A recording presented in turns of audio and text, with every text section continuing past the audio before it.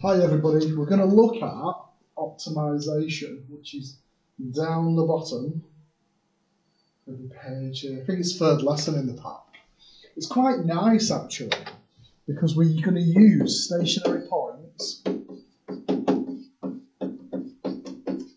to get the best value. So at school, you had questions like it when you just used trial and error, where you solved it and you used trial and error. But we're going to use differentiation. It's going to use stationary points and max and min to sort it out.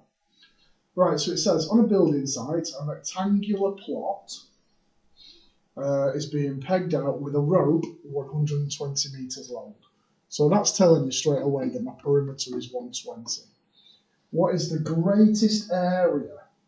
So you've got to think about I can change that, change the dimensions, and I want to see which one the best one is. So at school, you'd have tried different values of, say, x and y to come up with the biggest value of the area whilst maintaining a perimeter of 120.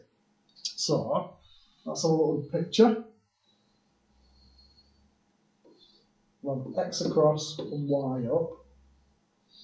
Right, so the way these work is, they tend to have information for two equations. And I rearrange one and sub it in the other, pretty much.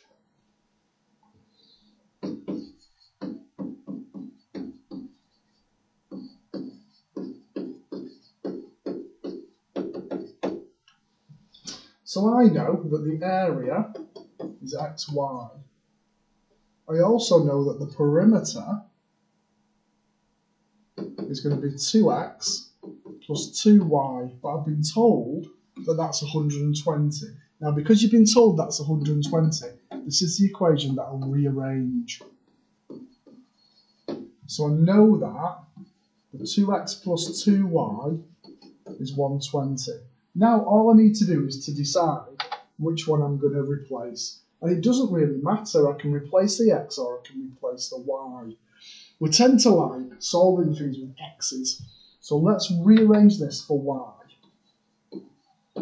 So if, actually, if I can cheat a little bit here, can I? Because I can, can actually just divide through by 2. So I've got an x plus y is 60, and I'll have a y equals 60 minus x. So that y there is going to come 60 minus x. So if I sub in, my area will be x lots of 60 minus x. Anything with brackets, because we've not done something called the product rule yet, just expand.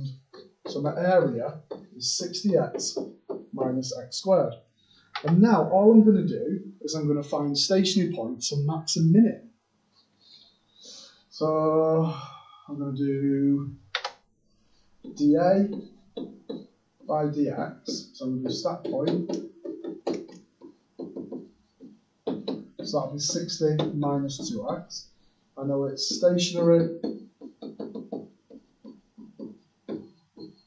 when dA by dx is 0. Remember, by the a on the left, so you've got dA on the top. x is on the right, so you've got the dx on the bottom.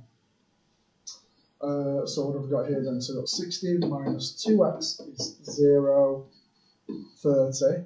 Now it's in metres that, isn't it? Yeah. So 30 metres is x.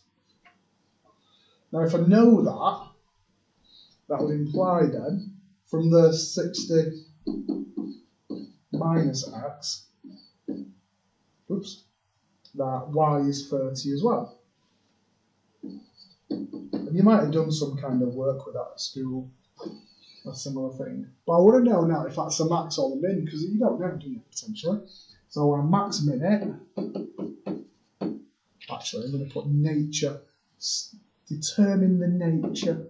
Because that's a saying which comes up on exam papers. So I want to do the second differentiation.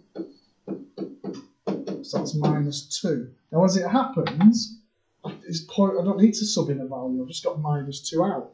If it was minus 2x, I'd just sub in the x value. But I've got minus 2 out as a value for a second differential. So d2a by dx squared is less than 0. Therefore, that's the maximum area boing, when x equals 30 metres and y equals 30 metres. So they're dead nice. The hard bit is creating the equations. Um, the easy bit is just doing stationary points and max and min. Wouldn't be better. Let's have a look on the next page, see if there's another one to do. Oof, I'm going harder though with this one. I might stop it um, and do another one. Never did.